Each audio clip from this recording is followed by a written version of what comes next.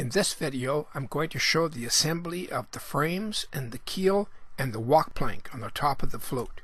I'm using these full-size diagrams to get an idea of the spacing of the frames and just how this float's going to look.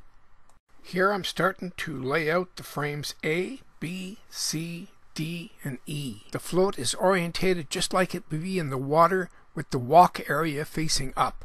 That area has a seven and a half inch piece of plywood running the full length of the float. You can see here where I had to bend the stringers at the front of the float so I used those special clamps to hold the pieces together overnight till they dried. Because I laminated two small pieces together, they're quite strong. Here you're looking at the keel area. Again, that's frames A, B, C, D, and E. Frame A is the front of the float. That's where the nose will be. Here you can see that seven and a half inch plywood walkway. Once I had this part of the float assembled, I was quite surprised how strong and rigid it was.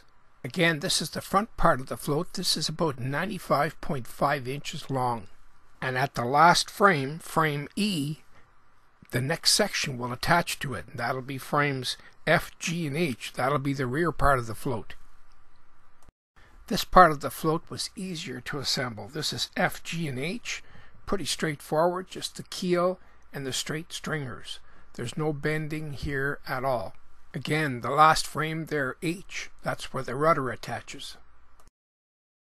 Shown here, I've got the two float pieces assembled. I've got the front end bolted to the rear part of the float, and now the full float is assembled. It's fairly easy to handle. Now I'm going to laminate four blocks of wood to the front end of the float and that's going to be shaped up to create the nose.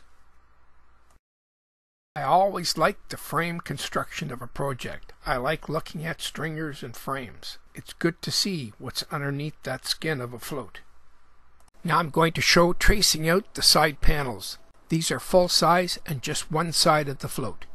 I'm using Jumbo Trace 2018 and I've selected combination. You can see here the diagram is spread over the jumbo boards.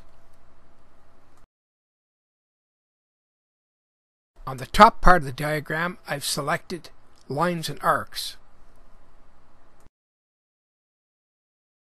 When I'm finished here I'm going to create a DXF file.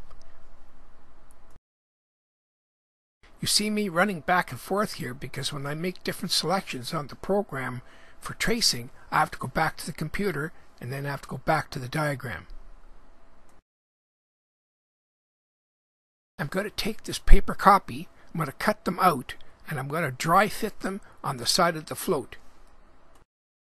I just used long pins and I pinned it to the top of the plywood. I'm very pleased with the fit. It's perfect.